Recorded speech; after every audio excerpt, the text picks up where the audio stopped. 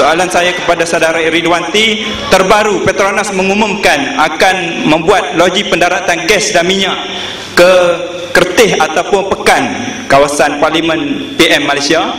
Minyaknya adalah maaf gasnya adalah gas Kelantan. Petronas umum untuk membuat pelaburan 16.64 bilion ringgit untuk keluarkan minyak Kelantan di betul-betul dalam perairan Kelantan di PM 301 untuk disalurkan ke Pekan Pahang jaraknya ke Pekan 300 km sedangkan jaraknya ke Kota Baru hanya 140 km kenapakah kerajaan Malaysia yang kononnya negara Islam menafikan hak negeri Kelantan yang majoriti 95% Melayu jadi saya ingin mendapat penjelasan daripada Ustaz Ridwanti. Terima kasih. Dr. Ridwanti, persoalan berkenaan dengan pendaratan gas di Pekan yang mana lebih jimat mendarat di Kota Baru zalimkah bila mendarat di Pekan komen kalau ada apa-apa nak dikomen silakan Dr. Ridwan saya saya tidak akan komen kalau saya tidak dapat maklumat secara jelas. Cuma cuma begini.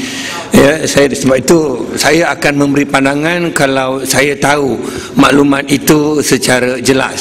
Sebab itu bila nak sekap bila nak nak menuding jari saya pun saya pun tidak saya masuk TV ini uh, kerana dijemput itu ruang untuk kita berdakwah sebagai seorang dai kalau tuan-tuan label saya sebagai amno, hak ini pun masuk TV juga. Kenapa tak kita tak kata dia amno juga? Jadi nampak sangat tuan-tuan ni amat uh, amat personal, amat amat peribadi dalam membincangkan sesuatu. Kita, ya tak, tak ada, tak ada, ya, ya. tak ada, tak ada hak. Tak ada hak. Tuan-tuan sorak lah macam mana pun. Saya nak cakap je. Nah, sorak lagu mana pun. Sekarang Jadi, ni komen, gini, Komen doktor nah, berkenaan itu? Saya saya punya berpandangan Kita hanya menggunakan ruang untuk menyampaikan Islam. Itu saja Dan saya sebutkan tadi Saya sebutkan tadi Tuan-tuan nak sorak-sorak pi lah Saya nak cakap kan ni. Ada saya saya peduli apa? Mikrofon ni saya punya. Bukan? Bukan tuan-tuan punya. Sekarang saya nak bercakap. Uh, yang kita fanatik sangat ni apa? Tuan-tuan dan puan tuan-tuan hari ni duk asyik menunding jari. Pada masa yang sama pada masa yang sama apa yang dilakukan oleh UMNO tuan-tuan ikut juga UMNO buat bank Islam contohnya sistem ekonomi Islam. Contoh je lah, contoh je. Hey, doktor, tuan. doktor, ada beza ke parti dengan kerajaan? Tak. Yang memerintah dia dia, dia kena kena begini tuan pengusi. Ya. Sebab itu kita kena sebut bezakan antara Tuan-tuan, bawa tenang, bawa tenang, bawa tenang.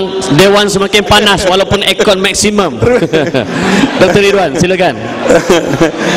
dia dia kena beza parti ini hanya ruling ruling parti ke ya. ingat dia parti yang memerintah kalau nak sebagi saya dibagi definisi kerajaan tu sudah wujud apabila adanya sesebuah negara parti itu hanya alat untuk memerintah ya. masuk dalam kerajaan ya.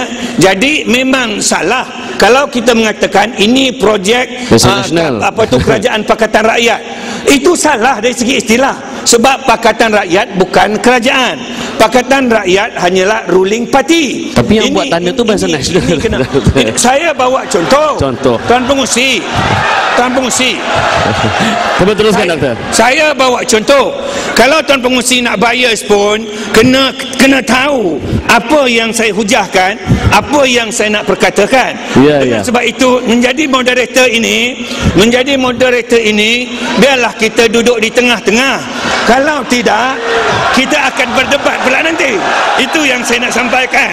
Baik. Baik. Tuan-tuan dan perempuan sekalian sekarang saya nak sebut. Tuan-tuan bawa bertenang bawa bertenang. Saya tahu anda nak mempertahankan saya saya, saya nak sebut di, teruskan di, doktor. sini. Eh, saya nak sebut di sini apa tu? Kita kita uh, saya saya hanya menggunakan ruang untuk berdakwah. Ya balighu anni walau ayah. Ya kita hanya menggunakan peluang untuk menyampaikan sesuatu. Ya jadi jadi dengarlah. Ya dengarlah. Apa masalah ni? Okey. Kita bagi doktor berehat sekejap. Saya tidak tahu apa masalah dengan tuan-tuan dan puan-puan.